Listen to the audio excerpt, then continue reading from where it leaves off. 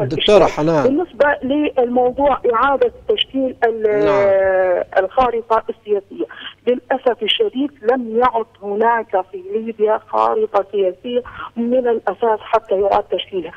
الكل مفتت لم يعد هناك تحالف للقوى الوطنية لم يعد هناك فيدراليين لم يعد هناك مؤتمر وطني ليس هناك قوة سياسية في هن- هناك عسكر سيدة حنان. الكل مفتت والتحالفات غير واضحة طيب. نهائيا. لم يعد هناك قوة أو كتلة كبيرة تستطيع أن تتحالف مع كتل أخرى لأن كل الكتل التي تكونت منذ 2011 حتى هذه اللحظة كلها مفتتة ومنقسمة على نفسها فيما يشبه تداعيات لربما-. لربما- لربما- ما يفعله آه نعم. السراج وما يفعله المجلس الرئاسي هو تنفيذ للإرادة الدولية وليس تنفيذ لأي تحالفات على المستوى السياسي آه الليبي وهذا طيب. ما نراه عندما يخرج مايتيب ويصرح تصريحات عليها مشاريع قوانين في نعم. بريطانيا فيما يخص تعويضات الجيش الايرلندي إذا نحن أمام أشخاص ينفذون إرادة دولية ولا ينفذون الإرادة الوطنية طيب. الخاصة بالداخل وضحت